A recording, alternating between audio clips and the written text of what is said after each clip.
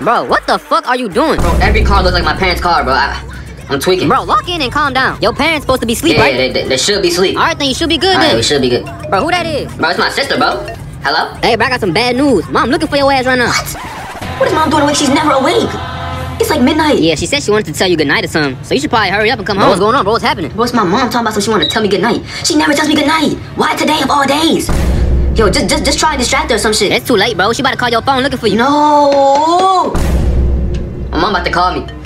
Bro, you about to answer that? Nah, bro, I'm not. I'm not picking up the phone. It, it is what it is. I'm already. I'm already gone. What's she calling again? What's wrong, bro? It's my dad, bro. Oh, Aw, shit. He fucked up. Yes, dad. Junior, where are you? I'm all the way in California. Oh, California boy. Okay, when you come home, your bags will be packed outside, and my belt will meet your ass. Understood? Yes. I beg, hang up the phone. Yo, bro, what, what did he say? This is gonna be my last day on Earth with y'all. Um, I love y'all boys.